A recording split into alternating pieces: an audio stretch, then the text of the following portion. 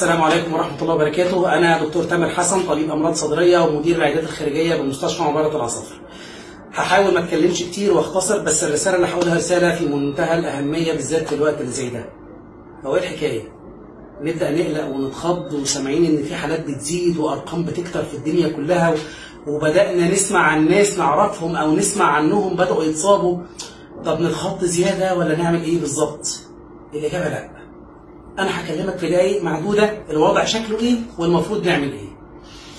الوضع بمنتهى البساطة يا جماعة إن الحالات اللي بتزيد انتشارها ده أمر طبيعي. إحنا بنواجه فيروس تنفسي الكوفيد 19 أو السارس كوف 2 أو اللي هو اللي بنقول عليه الكورونا. انتشاره كفيروس تنفسي أمر طبيعي ولازم ياخد دورته في الانتشار. الحاجة اللي تخلينا نقعد نقول إن فعلا الموضوع ده إحنا انتصرنا عليه أو بدأت مواجهة الحالات تبقى كبيرة وواضحة حاجة من أربع حاجات مالهمش خامس. أول حاجة ان يظهر عندي مصل تطعيم. أطعم بيه كل الناس فكده ما حدش هيتصاب.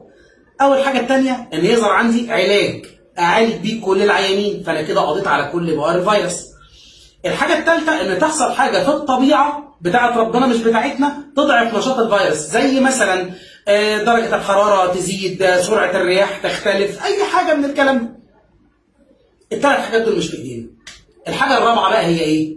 إن الفيروس ياخد دورته في الانتشار بس إحنا مناعتنا تبقى قوية تتغلب عليه ينتشر من غير ما يأذي جزء كبير من الناس وبعدها على طول يتحول لفيروس تنفسي معتاد زي الإنفلونزا العادية زي ما شفنا إنفلونزا الطيور والخنازير والحاجات الكتيرة اللي شفناها قبل كده.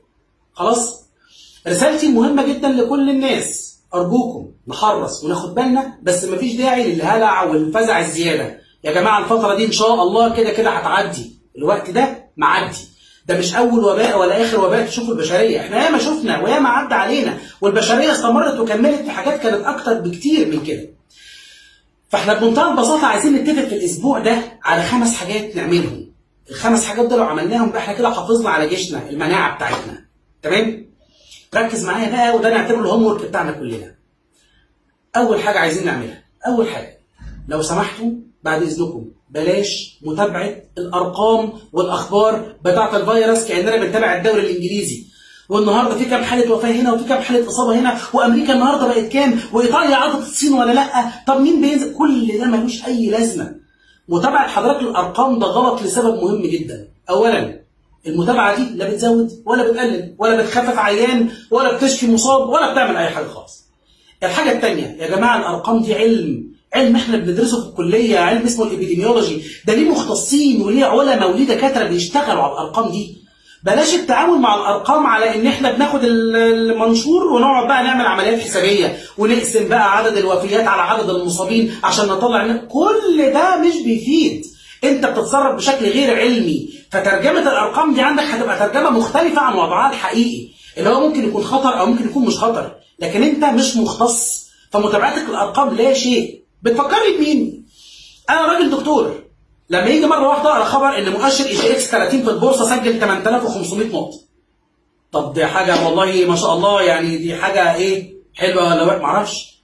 طب ده مؤشر EGX 70 بقى سجل 1200. آه طب ما أنا بقى اقسم بقى ال 70 على ال 30 لا لا كل ده كلام غير مختص. بلاش متابعة أرقام. أنت لو أنت مأمن نفسك يبقى الأرقام اللي بتحصل بره مش هتضرك في أي حاجة. لما يقول لك إن المنطقة بتاعتك بقى فيها حرامي لا ده فيها اثنين حرامية لا ثلاثة لا خمسة لا 10 طول ما أنت محصن نفسك كويس ما يفرقش معاك العدد هتتابعه ليه؟ ده ده الأرقام. الأعداد الأخبار بقى اللي يخص الأخبار ان عايز أقول لحضرتك إن كل الأخبار اللي أنت بتتابعها في منها على الأقل 70% إشاعات. يا إما خبر بيقول لك بيبدأ بكلمة بيقولوا أو بيبدأ بكلمة في دراسة. بيقولوا إيه؟ ومين اللي بيقوله محدش عارف. طب في دراسة مين اللي درس؟ مين اللي عمل الدراسة دي؟ محدش عارف، إحنا بس عمالين نقرأ ونتفزع ونتابع بدون داعي. أرجوك لو سمحت أول هوم ورك إحنا هنعمله أول خطوة ولا نتابع أرقام ولا أخبار لمدة أسبوع. مش هيحصل حاجة على فكرة، مش هيحصل خالص لو ما تابعتش الأرقام. اقفل موقع الورلد أوميتر وموقع المش عارف مين والصور انسى كل ده. حضرتك بتحسب معدلات الوفاة معدلات الإصابة، طب حسبت معدلات الشفاء؟ طب حسبت معدل تحول حالات من طبيعية لحرجة أو من حرجه لطبيعيه؟ في معدلات كتير قوي يا جماعة أنتوا مش مختصين. فلو سمحتم بلاش موضوع الأرقام وهدوا أعصابكم. دي أول حاجة. الحاجة الثانية ال share مرض التشير اللا إرادي.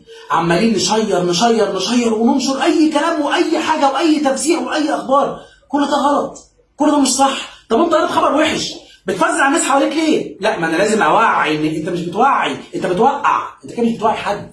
لا بقول لك ده النهارده مات 1300 واحد في أمريكا في يوم واحد. شير انشر انشر انشر لا يا جماعة. أنت معظم اللي أنت بتشيره على فكرة في حاجات كتير منها إشاعات. أنا نفسي مكان شغلي اللي أنا فيه ده المستشفى دي مستشفى مبرة العصافره أنا قاعد في وسط شغلي وفي مكتبي وفي وسط الناس والدكاترة والعيانين. وطلعت إشاعات إن الحجر الصحي جه قفل المستشفى وإن عربيات البوكس جت استلمتها واتشمعت بالشمع الأحمر. وأنا قاعد. فلو سمحت موضوع ال share share بدون داعي ده ملوش أي لازمة. وما تنشرش أخبار سلبية. الخبر اللي ضايقك ما تضايقش بيه الناس. الحاجة الثالثه العكس بقى. اظبط مزاجك يا عم. اظبط مزاجك. إحنا في أيام المفروض إن مناعتك تكون فيها متحسنة. على فكرة الخوف الخوف والفزع بيقلل جهاز المناعة بتاعك يمكن سبع مرات. شوف أي حاجة بتحبها واعملها. اقعد اعصر على نفسك ليمونة وشغل أفلام كوميدي يا سيدي. اسمع المطرب اللي بتحبه. اقعد اقرأ قرآن اقرأ كتاب لحاجة حلوة. اعمل حاجات لطيفة. اظبط مزاجك في الأسبوع ده لو سمحت. حاجات مفرحة. كنت بتعمل إيه قبل كده؟ يعني قبل الكورونا وقبل الكلام ده غير الخروج كنت بتعمل إيه؟ ما تفضلش قاعد بقى كئيب وقرفان وكائب الناس اللي حواليك وكائب الدنيا. مش أي لازمة. اظبط معنوياتك. في ناس يا جماعة بتخف من من من كانسر ومن أمراض مزمنة كتير بمجرد رفع المعنويات. ده كلام طبي على فكرة مش كلام اجتهادي فإضعافك لمناعتك هو ده اللي هيأذيك وانت قاعد في بيتك. فأنت الأسبوع ده اظبط معنوياتك يا عم. الناس عمالة تعمل كيك وتعمل مش عارف مين وبسكوت ال 10 دقايق وكلام غريب عمالين نسمعه. انت كمان اعمل كده. اسمع حاجة حلوة اتفرج على حاجة حلوة. خلي الأسبوع ده أسبوع مفرح بالنسبة لك كأنك واخد أجازة مصيف بس مصيف وانت قاعد في البيت. الحاجة الرابعة. فعلا اقعد في البيت. إحنا دلوقتي عايزين ناخد الموضوع جد مش هزار. كمل في البيت شوية. إحنا قعدتنا في البيت مش بتقضي على الفيروس ولا كلام من ده لا. هي بتخلي معدل الانتشار أقل فما يحصلش إصابات لعدد كبير جدا من الناس في وقت قصير فنبقى مش لاقيين أماكن نعالجهم فيها فتبدأ الناس تموت. لو سمحت الفيروس ده مش فيروس شغال شفتات night ولا فيروس ابن ليل بينام الصبح عشان يجي إحنا قبل سبعة ننزل ونبهدل الدنيا في الشوارع وبعد سبعة نقعد في البيوت الفيروس الصبح موجود عادي على فكرة. فلو سمحتوا قبل ميعاد الحظر اقعدوا في البيوت. انزل للضرورة. جمع مشاويرك كلها في وقت واحد. مفيش حاجة اسمها إحنا مخنوقين وبننزل الصبح عشان بعد الحظر بنقعد في البيت. إلزم الفترة دي لو سمحت. وقعدك في البيت ومعنوياتك المرتفعة هتأمنك وتأمن اللي حواليك. خامس حاجة. حرص. آه. لكن الإفراط في الحرص غلط. بمعنى الكلور والكحول والمطهرات زيادة عن ال sanitizers والزيادة عن اللزوم كل ده ضرر. كل ده هيأذيك حضرتك مطلوب علشان تحرص غير وانت قاعد في البيت تغسل إيدك بمية وصابون على قد ما تقدر قلل التجمعات والاحتكاكات والتكدس والأحضان والبوس والسلوكيات دي. الكحول والمطهرات استخدمها آه لكن لما شك قوي أما بقى قلقان قوي طالع من المستشفى حد حسيت إنه كان بردان أو حتى حسيت إن في مشكلة. ممكن أستخدم مطهرات وأستخدم الكحول والكلام ده. لكن زيادة عن اللزوم بتضعف مناعتك بتضعف جهازك التنفسي الإفرازات بتزيد والالتهابات بتزيد فبتنزل تقفل لك صدرك بتبقى مش عارف تواجه أي حتى لو فيروس البرد العادي جالك هيبهدلك. لا كتر الكلام ده غلط. بلاش الإفراط. الجوانتيات الجلافز اللي بتلبسها. طول ما أنت بتغسل إيدك أنت مش محتاج جلافز في حاجة. محتاجها في إيه؟ الجلافز بتلم بيه البكتيريا والميكروبات والدنيا كلها وبعدين تحط إيدك على بقك ولا على وشك فانت اتعديت وبعدين تيجي ترميه في الزبالة فتأذي عامل النظافة وتأذي الدنيا دي كلها. اغسل إيدك وبس. الكمامات إحنا كدكاترة بنلبسها مع العيانين. لكن حضرتك البسها بس في التجمع. لكن وانت ماشي في الشارع في الهواء ملهاش لازمة. الفيروس بالمناسبة منظمة الصحه العالمية أعلنت امبارح إن هو ما بينتقلش عن طريق الهواء. ده بينتقل عن طريق القطرات والقطرات أتقل من إن هي تقعد في الهواء. تمام؟ هنعيد الخمس نقط مرة ثانية هنعملهم في الأسبوع ده.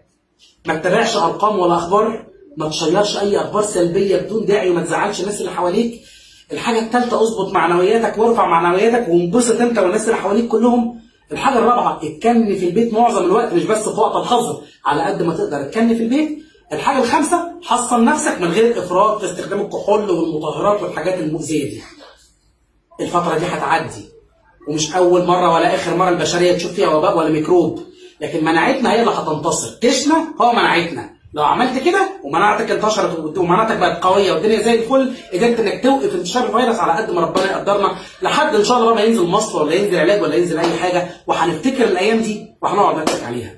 أنا خلصت كلامي مش هطول أكتر من كده. شكرا جزيلا وربنا يحميكم كلكم والسلام عليكم ورحمة الله.